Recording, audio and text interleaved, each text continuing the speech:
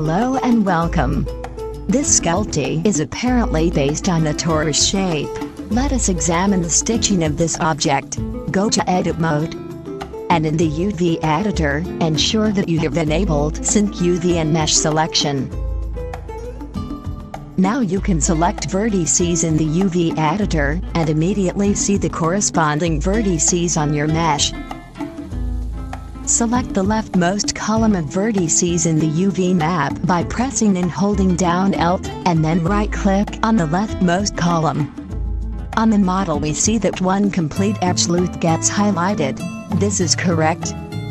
Now Shift, Alt, right-click on the rightmost column in the UV editor. On the model we see that a second edge loop gets selected. This is not correct. Because we work with a torus shape, we expected that the leftmost and the rightmost column of the UV map are assigned to exactly the same loop on the mesh. We have to fix this. Now examine the topmost row of vertices in the UV map. Alt, right-click on the topmost row. You see that the bottommost row gets also selected. This is correct. The top to bottom stitching is correct and behaves as expected. Let us see what the Baker tool will create for this object. Go to Render, Quick Bake Sculpt Meshes. Now examine the resulting sculptie. Go to Object Mode. Then click on Object, Scripts, Preview Selection. This will create an object based on the current sculpt map. This object will show you how your sculptie will look in Second Life. We see that our object will be rendered to a flat shape. This is apparently not what we wanted. And the problem is directly related to the wrong stitching of the original object. So how can we correct the wrong left to right stitching? Apparently the mesh itself is fully correct.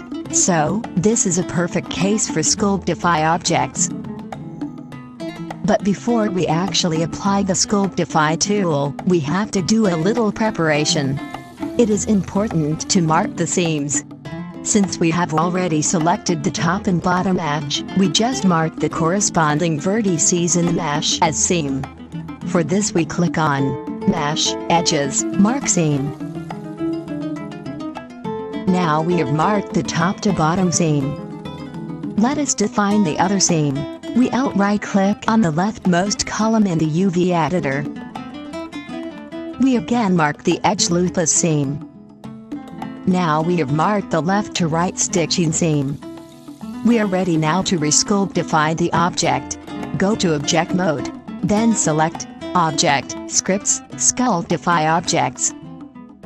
The resulting object has a correct UV map, with the correct stitching. Now let us call the Baker tool, and then preview the sculptie.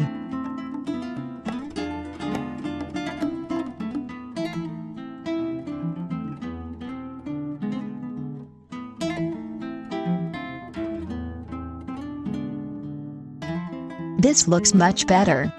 But we see black spots on the object. So what is that? A closer inspection in edit mode shows what happens. You see that near the dark spots the faces intertwine. This happened because the inner surface and the outer surface of the object are too close to each other. You can correct this manually by shifting the vertices a bit such that the surfaces no longer intertwine. Then the black spots disappear. You can now do some fine corrections of your mesh, bake again, and then your sculptie is ready for transport to Second Life.